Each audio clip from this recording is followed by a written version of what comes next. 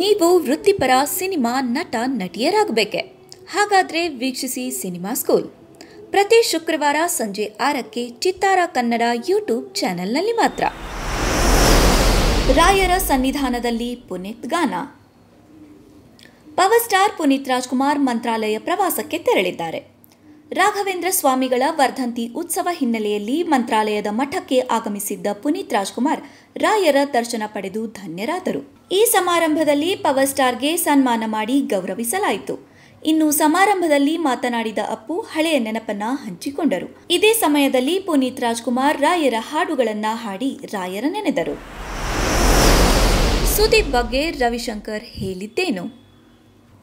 ಈ ಟಿವಿಯಲ್ಲಿ ತೆಲುಗು ಹಾಸ್ಯ ನಟ ಆಲಿ ನಡೆಸಿಕೊಡುವ ಆಲಿತೋ ಸರದಾಗ ಕಾರ್ಯಕ್ರಮದಲ್ಲಿ ರವಿಶಂಕರ್ ಭಾಗವಹಿಸಿದ್ರು. ಆ ಕಾರ್ಯಕ್ರಮದಲ್ಲಿ ಹಲವು ವಿಷಯಗಳ ಬಗ್ಗೆ ಮಾತನಾಡಿದ ರವಿಶಂಕರ್, ಡಬ್ಬಿಂಗ್ ಆರ್ಟಿಸ್ಟ್ ಕಾಲದಿಂದ ಈವರೆಗಿನ ತಮ್ಮ ಬದುಕಿನ ಪ್ರಮುಖ ಘಟನೆಗಳನ್ನ ತೆರೆದಿಟ್ರು. ನಾನು ಸದ್ಯ ನೂರಾರು ಸಿನಿಮಾಗಳಲ್ಲಿ ನಟಿಸ್ತಿದ್ದೇನೆ. ನನ್ನನ್ನ ಕನ್ನಡ ಚಿತ್ರೋದ್ಯಮಕ್ಕೆ ಪರಿಚಯಿಸಿದ ಸುದೀಪ್ ಅವರಿಗೆ ನಾನು ಚಿರಋಣಿ. ಈಗ ಬೆಂಗಳೂರಿನಲ್ಲಿಯೇ ಮನೆ ಮಾಡಿದ್ದೇನೆ. ಜೈ ಕರ್ನಾಟಕ, ಜೈ ಭುವನೇಶ್ವರಿ ಎಂದು ರವಿಶಂಕರ್ ಟಿವಿ ಕಾರ್ಯಕ್ರಮದಲ್ಲಿ ತಮ್ಮ ಮನದಾಳದ ಮಾತುಗಳನ್ನು ಹೇಳಿದ್ದಾರೆ.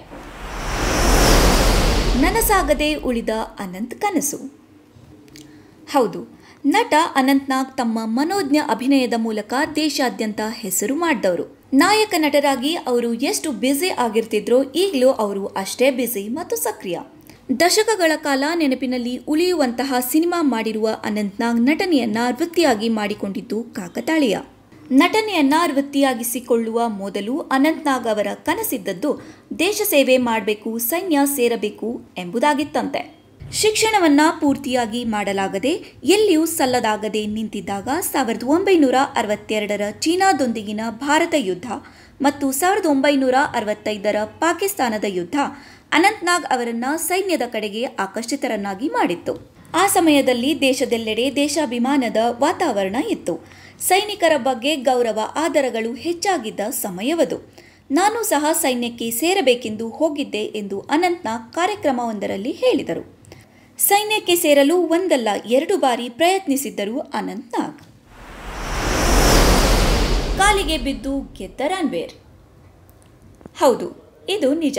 ರಣವೀರ್ ಸಿಂಗ್ ಹಿರಿಯ ನಟರಾದ ಅಕ್ಷಯ್ ಕುಮಾರ್, ಅಜಯ್ ದೇವ್ಗನ್, ನಿರ್ಮಾಪಕ ಮತ್ತು ನಿರ್ದೇಶಕ ಕರಣ್ ಜೋಹರ್ ಅವರ ಕಾಲಿಗೆ ಬಿದ್ದು ಕ್ಷಮೆ ಕೇಳಿದ್ದಾರೆ. ಸೂರ್ಯವಂಶಿ ಚಿತ್ರದಲ್ಲಿ ನಟರುಗಳಾದ ಅಕ್ಷಯ್ ಕುಮಾರ್, ಅಜಯ್ ದೇವ್ಗನ್, ಕತ್ರಿನಾ ಕೈಫ್, ನಿರ್ದೇಶಕ ರೋಹಿತ್ ಶೆಟ್ಟಿ, ಕರಣ್ ಜೋಹರ್ ಅವರು ಮೊದಲೇ ಕಾರ್ಯಕ್ರಮಕ್ಕೆ ಬಂದಿದ್ರು.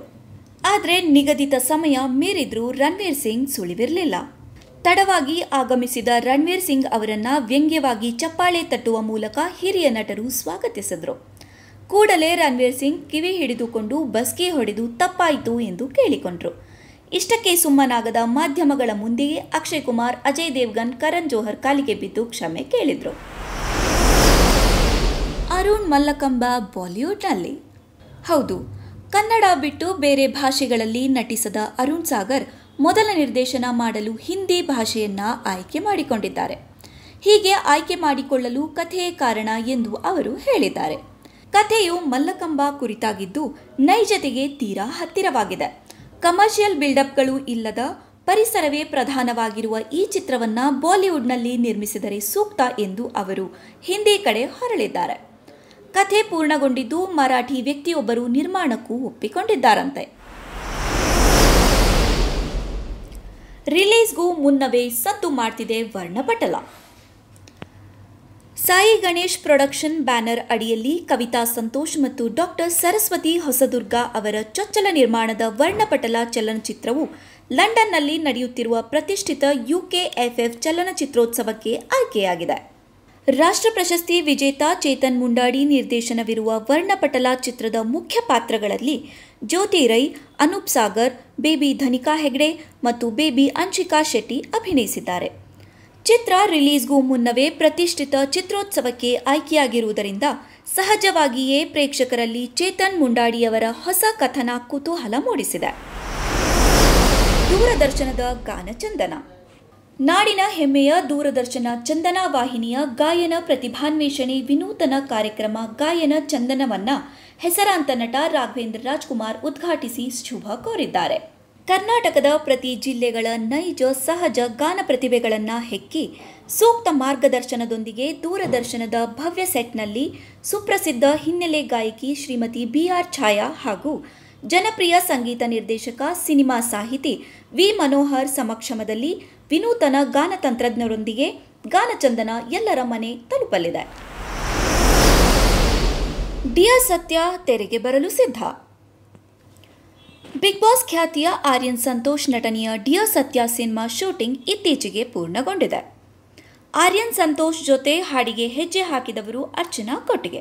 ಇನ್ನು ಈ ಹಾಡಿಗೆ ಚೇತನ್ ಕುಮಾರ್ ಸಾಹಿತ್ಯ ಬರೆದಿದ್ದು ಶ್ರೀಧರ್ ಸಂಭ್ರಮ್ ಸಂಗೀತ ನೀಡಿದ್ದಾರೆ. ಮೋಹನ್ ಚಿತ್ರದ ಕೊರಿಯೋಗ್ರಾಫರ್ ಆಗಿದ್ದಾರೆ. ಜಿಗರ್ ತಂಡ ಖ್ಯಾತಿಯ ಶಿವ್ ಗಣೇಶ್ ನಿರ್ದೇಶನದ ಡಿಯರ್ ಸತ್ಯ ಥ್ರಿಲ್ಲರ್ ಸಿನಿಮಾ ಆಗಿದೆ. ಇನ್ನು ಇತ್ತೀಚೆಗಷ್ಟೇ ಚಿತ್ರತಂಡ ಜೈಪುರದಲ್ಲಿ ಡ್ಯೂಯೆಟ್ ಸಾಂಗ್ ಮುಗಿಸಿ ವಾಪಸ್ಸಾಗಿದೆ. ಈ ಹಾಡನ್ನ ನಾಲ್ಕು ವಿಭಿನ್ನ ಕೋಟೆಗಳಲ್ಲಿ ಚಿತ್ರಿಸಲಾಗಿದೆ. ಬಾಗೇತ್ರಿ ಹಿಂದಿ ಸಿನಿಮಾದ ಶೂಟಿಂಗ್ ನಡೆದ ಕೋಟೆ ಇದಾಗಿದ್ದು, ಕನ್ನಡದಲ್ಲಿ ಇದೇ ಮೊದಲ ಬಾರಿಗೆ ಆ ಸ್ಥಳದಲ್ಲಿ ಶೂಟಿಂಗ್ ಮಾಡಲಾಗಿದೆ. ಇದೇ ಶುಕ್ರವಾರ ಥಿಯೇಟರ್ನಲ್ಲಿ ಮದುವೆ ಊಟ. ಹೌದು, ಉತ್ತರ ಕರ್ನಾಟಕ ಶೈಲಿಯಲ್ಲಿ ತಯಾರಾಗಿರುವ ಮದುವೆ ಮಾಡ್ರಿ ಸರಿ ಹೋಗ್ತಾನೆ ಶಿವರಾಜ್ ಲಕ್ಷ್ಮಣ್ ರಾವ್ ದೇಸಾಯಿ ಅವರ ನಿರ್ಮಾಣದ ಚಿತ್ರ ಈ ಶುಕ್ರವಾರ ಬಿಡುಗಡೆ ಆಗ್ತಿದೆ ಎಲ್ ಡಿ ಪ್ರೊಡಕ್ಷನ್ ಅಡಿಯಲ್ಲಿ ಈ ಚಿತ್ರ ನಿರ್ಮಾಣ ಮಾಡಲಾಗಿದೆ. ಗೋಪಿ ಕೆರೂರ್ ಕಥೆ, ಚಿತ್ರಕಥೆ ಹಾಗೂ ನಿರ್ದೇಶನದಲ್ಲಿ ಹನ್ನೊಂದು ಹಾಡುಗಳನ್ನು ಸಂಗೀತ ನಿರ್ದೇಶಕ ಅವಿನಾಶ್ ಬಾಸುತ್ಕರ್ ಸಿದ್ಧ ಮಾಡಿದ್ದಾರೆ. Doctor V. Nagendra Prasad, K. Kalyan, Gopi Kerur ಗೀತ ಸಾಹಿತ್ಯ ನೀಡಿದ್ದಾರೆ.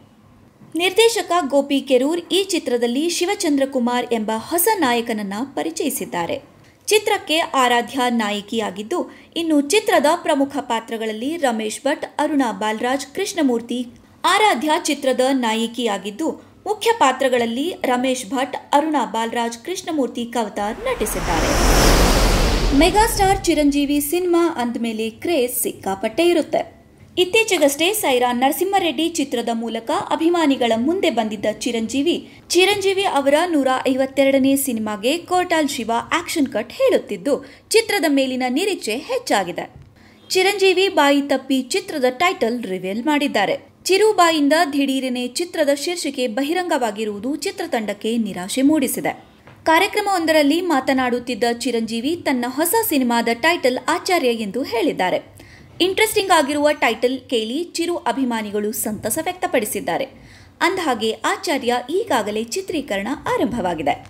Chittara Kannada YouTube channel like ಮಾಡಿ ಸಬ್ಸ್ಕ್ರೈಬ್ ಮಾಡಿ ಯಾಕಂತಂದರೆ ಸೂಪರ್ ಆಗಿರುವಂಥ ಒಂದು ಮೆಚ್ಯೂರ್ಡ್ ಲೆವೆಲ್ ಆಫ್ ಇಂಟರ್ವ್ಯೂ ಎಲ್ಲ ಆರ್ಟಿಸ್ಟು ನಿಮಗೆ ಸಿಗುತ್ತೆ. ಆ್ಯಂಡ್ ತುಂಬಾ ಒಂದು ಇನ್ಫಾರ್ಮೇಟಿವ್ ಆಗಿರುತ್ತೆ. ಸೊ ಕನ್ನಡ ಆರ್ಟಿಸ್ಟ್ಗಳಿಗೆ support ಮಾಡ್ತಿರೋದಕ್ಕೆ as always thank you so much ನಮಸ್ಕಾರ ನಾನು ನಿಮ್ಮ ರಕ್ಷಿತ್ ಶೆಟ್ಟಿ. ಚಿತ್ತಾರ ಯೂಟ್ಯೂಬ್ ಚಾನಲ್ನ ಲೈಕ್ ಕಮೆಂಟ್ ಆ್ಯಂಡ್ ಸಬ್ಸ್ಕ್ರೈಬ್.